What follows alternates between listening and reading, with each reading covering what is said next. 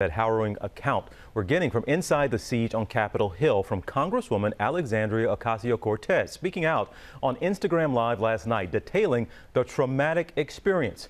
Our congressional correspondent Rachel Scott is in Washington for us with more. Rachel, good morning. TJ, good morning. Up until now, Congresswoman Alexandria Ocasio-Cortez has not gone into full detail about what happened here on January 6th, but now she's opening up about the moments she feared for her life.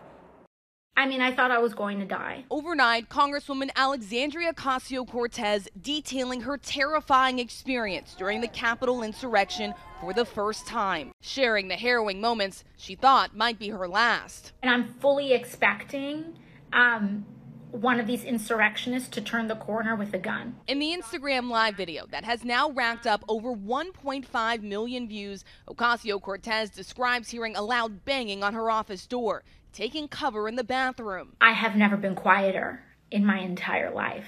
I felt that um, if this was the journey that my life was taking, that I felt that things were going to be okay. Um, um, and that, you know, I had fulfilled my purpose. The pounding at the door turned out to be a Capitol police officer instructing her to flee.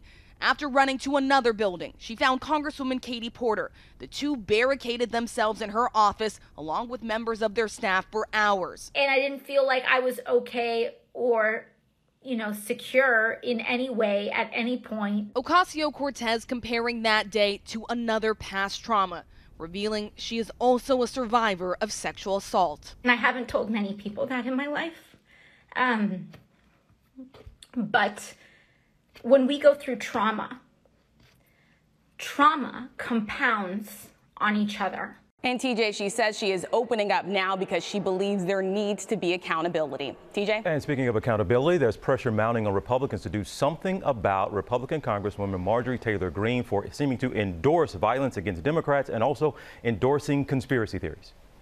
Yeah, TJ, and we now have a blistering statement from Republican leader Mitch McConnell saying loony lies and conspiracy theories are cancer for the Republican Party and for our country. But Congresswoman Marjorie Taylor Greene has been defiant. She says she will not back down or apologize. And right now it is unclear if any action will be taken against her for her past comments. TJ. We shall see. Rachel Scott, thank you so much. Hi, everyone. George Stephanopoulos here. Thanks for checking out the ABC News YouTube channel. If you'd like to get more videos, show highlights, and watch live event coverage, click on the right over here to subscribe to our channel. And don't forget to download the ABC News app for breaking news alerts. Thanks for watching.